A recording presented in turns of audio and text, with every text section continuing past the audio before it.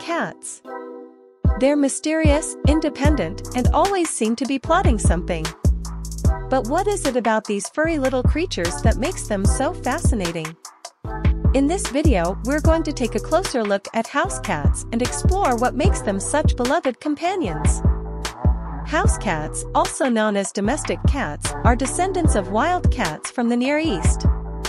They were first domesticated around 10,000 years ago, and since then, they've become one of the most popular pets in the world. But why do we love them so much? Cats are just so entertaining. They have such unique personalities, and they're always doing something funny or cute. Plus, they're great company. One of the things that makes cats so entertaining is their playfulness. Cats love to play, and watching them chase after a toy or pounce on a piece of string is always entertaining. But cats aren't just playful, they're also great companions.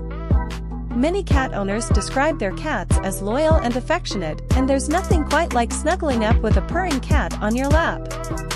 Of course, cats are also known for their independence. They're not as needy as dogs and can be left alone for longer periods of time.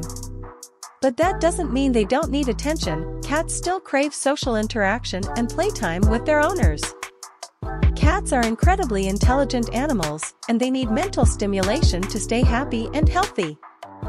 That's why it's important to play with them, give them toys to play with, and provide them with a stimulating environment. Ultimately, what makes house cats so beloved is their unique personalities. From the playful kitten to the wise old cat, each cat has their own quirks and charms that make them special. So next time you see a cat lounging in the sun or chasing after a toy, take a moment to appreciate their unique personalities and the joy they bring to our lives. Because when it comes to house cats, there's always something new to discover.